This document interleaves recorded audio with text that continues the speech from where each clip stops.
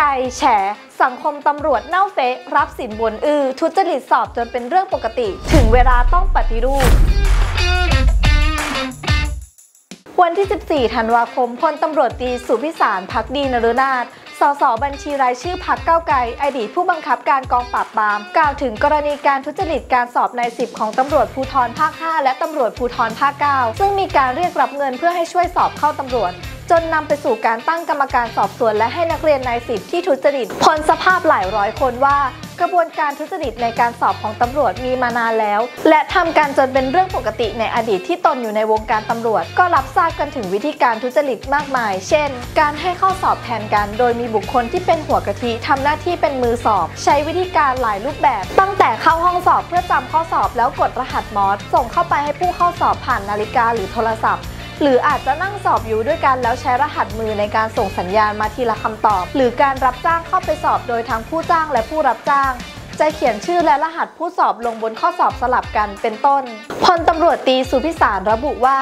แม้ปัจจุบันจะมีการตรวจสอบป้องกันการทุจริตการสอบที่เข้มงวดรัดกุมขึ้นแล้ว เช่น การให้ใส่แต่กางเกงวอร์มที่ไม่มีกระเป๋าเข้าห้องสอบ การมีอุปกรณ์ตรวจจับเครื่องมือทุจริต หรือการยึดเอาโทรศัพท์และนาฬิกาไว้ แต่การทุจริตก็ยังเกิดขึ้นได้จากวิธีการใหม่ๆ ของขบวนการทุจริต และโดยเฉพาะเมื่อผู้คุมสอบเป็นพวกเดียวกัน ก็จะเกิดการปล่อยปะละเลยให้มีการทุจริตเกิดขึ้นพลตำรวจตีสุพิสารระบุต่อไปว่า ข้อเสนอนโยบายของพรรคก้าวไกลเกี่ยวกับการปฏิรูปตำรวจและการป้องกันการทุจริต ที่มีหลักการสำคัญว่าตำรวจต้องยึดโยงกับประชาชน ตรวจสอบได้โดยประชาชน และมีการเปิดเผยข้อมูลต่อสาธารณะ จะสามารถนำไปสู่การบรรเทาปัญหาการทุจริตเช่นนี้ลงได้ ไม่ว่าจะเป็นการปรับเปลี่ยนให้คณะกรรมการข้าราชการตำรวจ มีสัดส่วนมาจากทั้งฝ่ายค้านและฝ่ายรัฐบาลในสภา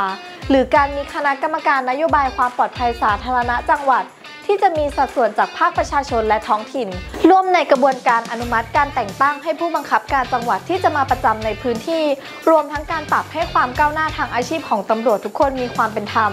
เช่น การให้นายตำรวจชั้นประทวนที่จบการศึกษาปริญญาตรีได้สิทธิ์เลื่อนยศเป็นชั้นสัญญาบัตรก่อนกลุ่มอื่น การเปิดรับคนทุกเพศเข้าเรียนในร้อยตำรวจ การรับประกันว่าตำรวจทุกเพศจะได้รับโอกาสเลื่อนขั้นตำแหน่ง